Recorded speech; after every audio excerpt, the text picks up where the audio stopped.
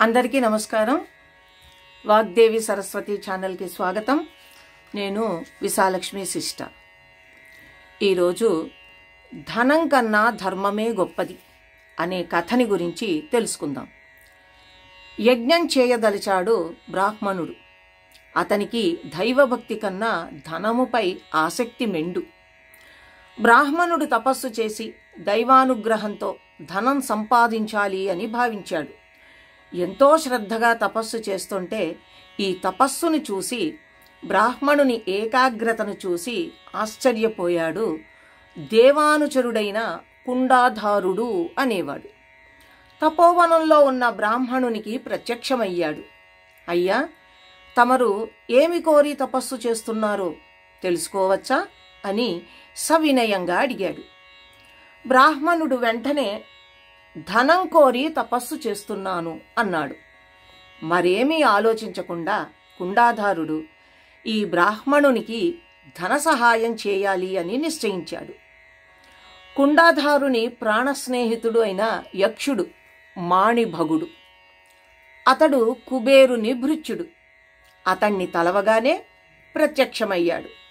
కుండాధారునికి నమస్కరించాడు వినయంగా ఆ మాణిభగుడు. కుండాధారుడు కూడా వినయంగా ఈ బ్రాహ్మణుని ధనవంతుని చెయ్యి అదే నాకు ప్రీతి కలిగిస్తుంది అన్నాడు ఆ మాణిభగునితో. ఎంత ధనం అయినా ఇస్తాను అని నవ్వాడు మాణిభద్రుడు. మాణిభద్రుడు ఎందుకలా నవ్వాడు అని ఆలోచనలో పడ్డాడు కుండాధారుడు. అనేక ఆలోచనలు కుండాధారుని మనస్సులో కదులుతున్నాయి. మాణిభద్రుడు కావలసినంత ధనం బ్రాహ్మణునికి ఇస్తాను అని నవ్వాడు అంటే ఆ చర్యలో ఏదో పరమార్థం ఉంది అని కుండాధరుడు అనుకున్నాడు. బ్రాహ్మణునికి ధనమెందుకు? యజ్ఞం చేయడం దైవానుగ్రహం కోరి కదా. అయినా మనసు ఎప్పుడు ధర్మ మార్గంలో కదా ఉండాలి. బ్రాహ్మణునికి ఇది తెలియవా? అని పలు విధాల వితర్కించుకున్నాడు కుండాధారుడు. అయినా యజ్ఞం చేయాల్సింది రాజులు చేయించాల్సింది బ్రాహ్మణులు. యజ్ఞం కోసం ధనం కావాలని దానికై తపస్సు చేస్తున్నాను అని అంటున్న బ్రాహ్మణునికి జ్ఞానబోధ చేయాల్సిన అవసరం ఉంది అని నమ్మాడు కుండాధారుడు. ఎందుకంటే బ్రాహ్మణుడు ఎప్పుడూ ధర్మ మార్గంలో ఉండాలి ధర్మం వలన అతనికి సమస్త సంపదలు కలుగుతాయి అని తెలుసు కాబట్టే. అంతేకాకుండా తనపై గౌరవంతో కుబేరుని భృత్యుడైన మాణిభద్రుడు ఎంత ధనమైనా ఇస్తా అంటున్నాడు. కానీ ఇది తగదు అనిపించింది కుండాధరునికి.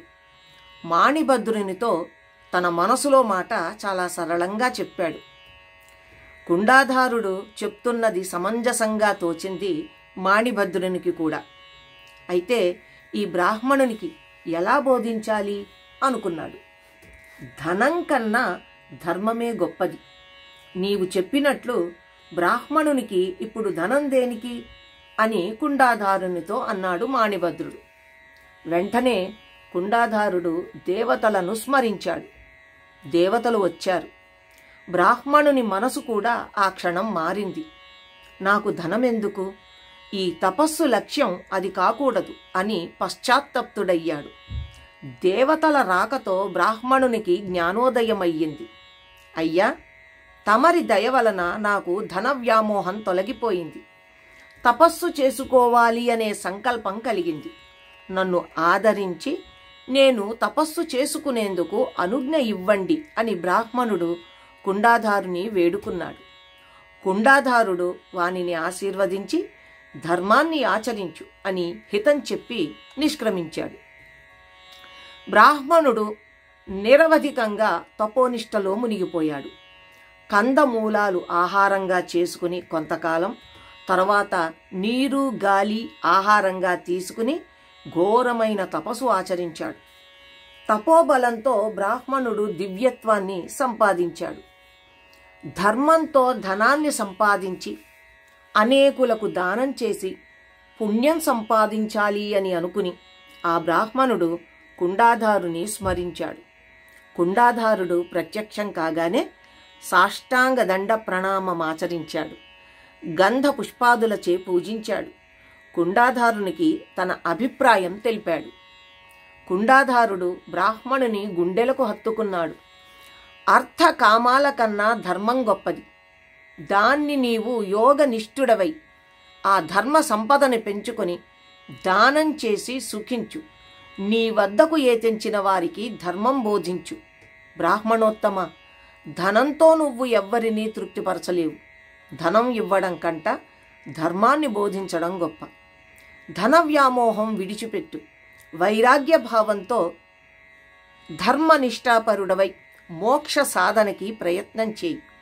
అది ఉత్తమ మార్గం వైపు ఉన్నతుడు పయనించే మార్గం అని హితబోధ చేసి కుండాధారుడు అదృశ్యుడయ్యాడు. ధనార్జనకై పరితపించడం కంట ధర్మార్జనకై పరితపించడం ఉత్తమం. ధనం కంట ధర్మమే ఉత్తమమైందని నీతిబోధ ఈ కథ స్పష్టం చేస్తోంది. ఈ కథ ఆంధ్ర మహాభారతం శాంతి పర్వం పంచమాశ్వాసంలోనిది